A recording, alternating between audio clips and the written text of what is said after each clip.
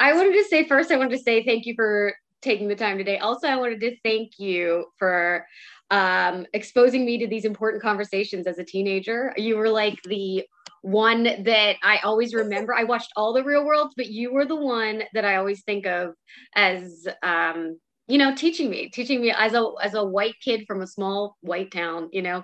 So thank you. I wanted to say thank oh you. Oh my gosh. You're yeah. very welcome. Thank you for yeah taking those messages in as they were intended. Yeah. um, so yeah, I, I loved watching you on Homecoming. Um, and I kept thinking, how did it be so hard to go back to this time? And I was also thinking, did you watch the other homecomings and think, oh, because that that phone is gonna ring and I'm gonna have to go back to Yeah, you know what was crazy is I I watched Real World Homecoming New York because I, you know, when I tried out for the show, I had been a long time fan of the show. It had been on for eight seasons before mine. And Real World New York was one of, you know, I mean, honestly, groundbreaking television. I didn't know that at the time that I was watching it as a very young person.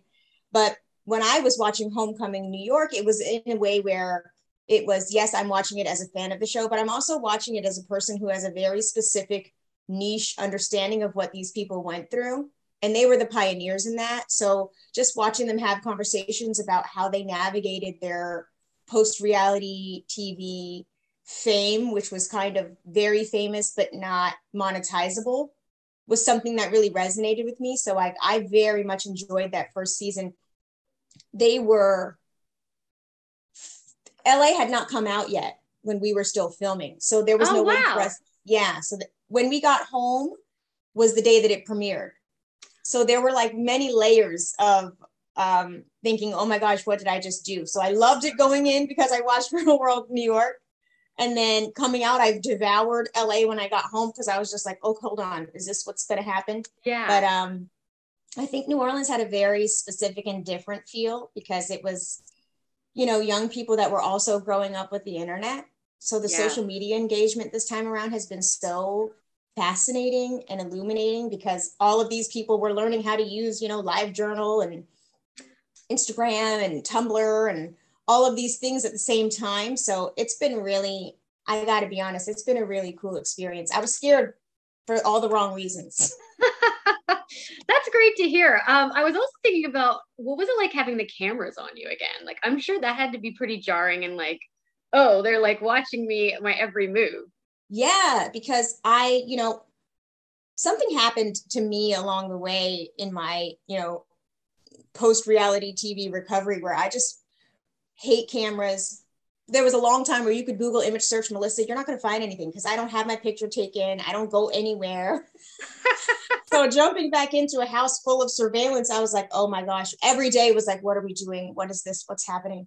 But crazily enough, the body has a fascinating memory and also a way to forget. And you move into that house, and all of a sudden, it's kind of like you plug back into that little portal of who you were when you were 22, and you're like, oh my gosh, I'm really doing this.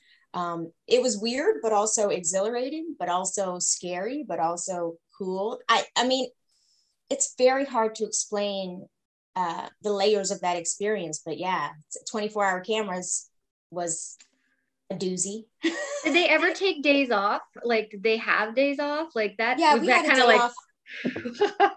well, we had days off, but they were still cameras. Okay. Um, um, you know, there were still cameras on, but the days off were mostly so that we could um, break off into our separate interviews that you see on the show. So, like, okay, yeah. So that there's like sense. a production mechanism for everything that they do. It's really genius how they do it. I got to be honest. I don't. I mean, obviously Bunim/Murray, MTV knows what they're doing since they pioneered this entire yeah. genre. But like to step back into it as a participant and not a watcher was just like, oh wow, okay, this is how they're gonna just watching them make the sausage was very fascinating for me. I bet. Yeah, you know, I was also thinking about I really love the, all the things that you guys address. Like, I remember the episode with the boat, the swamp guy using the N word and yeah. like the discussion around it. And it also made me think how there were so many disclaimers on this show ahead of time. Like, we're going to be talking about things we didn't have disclaimers in 2000. Right. Yeah. Like, did you ever think about how this show would have been received in the age of like now? Like, if it, if the show from 2000 came out now, like, if I just feel like first of all, you would have been everywhere on Twitter all the time. I feel like oh my gosh. Could you imagine that show with Twitter? I, oh honestly, oh I would have I, I I I hunkered down, but I would have hunkered down deeper. Because you never want to be the star of Twitter at any given day. yeah, that's true. um I the trigger warnings are fascinating. It just goes to show you like how language and how we consume media has changed over time. Um, it for a good in a good way, you know, yeah. um, in a way where it's it's allowing you to prepare yourself for what you are about to consume, and then you have a choice in whether or not you are going to continue. I thought that was really um, smart and effective, but also a way to tell the audience like this is entertainment, but this is also education. And again, Bunim Murray and MTV at the forefront of doing these new things. I think even the show, the premise of the show, you couldn't really do this show with another um you know franchise yeah because this was the last time that we had you know this cast does the show and then another cast does the show and then another cast does the show Nowadays, they have the same housewives come on for the entire franchise. So you don't, you already know what they're up to. There's no yeah. mystery around where have they been. And so it's kind of like we were seven strangers all over again. Yeah. Really fascinating. that really, that really is fascinating. Wow. I never even thought about that. Um, did you have any expectations going into this that that were met or maybe not met, or were you surprised with how everything went down? Like Tokyo to me, I talked to him last week. He was such a pleasant surprise. Like completely so happy with himself. It's a really beautiful thing to see. But I was wondering, like, what were your expectations and were they met? Um, I was really so excited to see him um, just because I had always had a sadness about the way that the show ended. And um, I have to be honest, it was really hard for me when they show you the never before scenes or they rerun something that happened on the show. It like was a gut punch watching it at home. I had to text him the following day, like when they showed the uh, back then clip of me rallying everybody at that horrible house meeting. I was like, Tokyo, I'm so sorry because all of the signs were there that he was an introvert. Yeah. And I, as a young person, could not see that. I did not understand that. I think maybe even the viewing audience didn't understand that.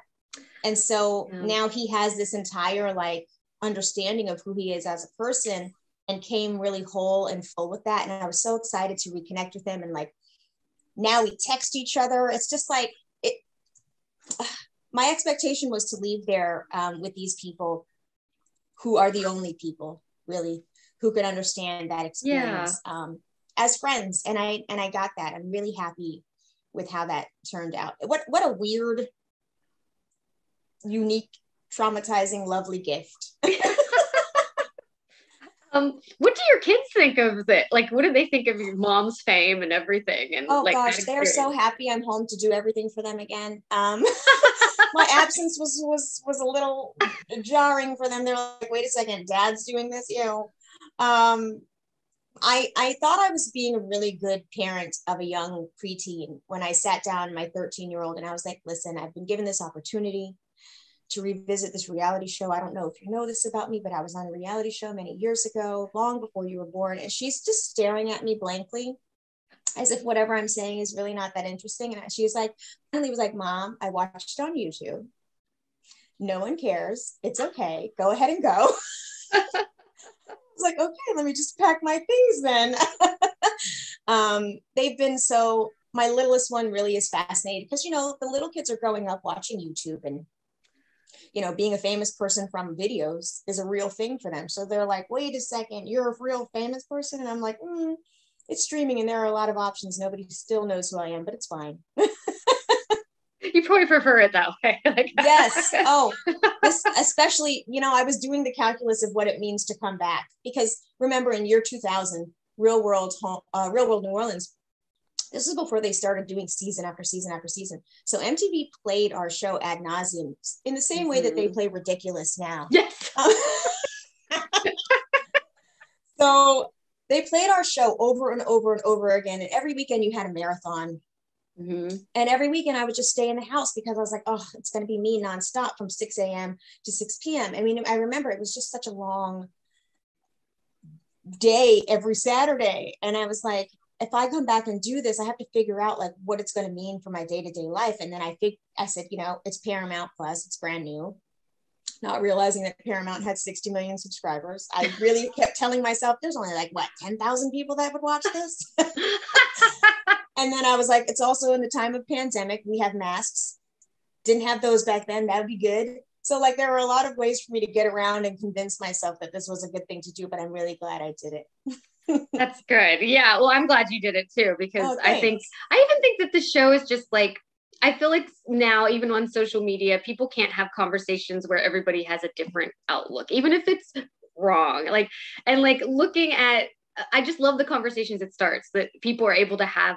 We're able to see people from different where they come from and where they are. You know, it's it's really great.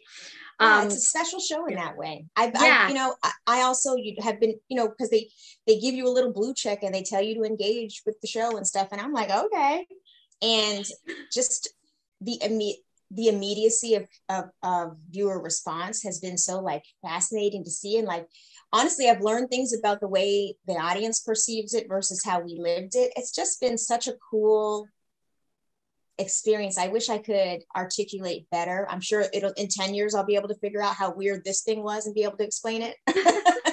But it has been just such a special little show yeah. Was there anything, one final question, was there anything that you wished you had done the second time around that you didn't get to? I loved seeing the like murals and the the art that you guys did again. And um, was there anything that you wanted to get to that you didn't get to? You know, I really wanted to take a tour of the original Belfort. Um, yeah. It wasn't it wasn't made available to us. And I'm wondering if part of the reason why it was unavailable is because Queer as Folk just rebooted and they're using the house. Oh, I just wow. read that and I was like, oh, okay. But I mean, this is the world we're in. We're rebooting, rebooting everything, and nostalgia is very in right now. But um, I was happy that we didn't do it in the Belfort just because it would have added a layer of like weird, you know? Yeah. Just being in that space would have probably been a super weird spiritual experience. Yeah. I did want to revisit it just as a you know, I got really great closure, but seeing that house would have been um, a little neat bow. But yeah, that's it. I really, other than that, I have no regrets. I have no, um, you know, feelings of FOMO. I had, I, I, it all went as good as it could possibly go. The checks cleared. It was, it's been great. that's all that matters. yeah. So, well, it's been such a pleasure chatting with you. Thank you so much for. I'm glad we were able to do this, and I'm glad you were able to be on Real World Homecoming. And um, yeah, thank you so much. Thank you so much. Thank you. Have a rest, a good rest of your day. You too. Thank you. Thank you. Bye.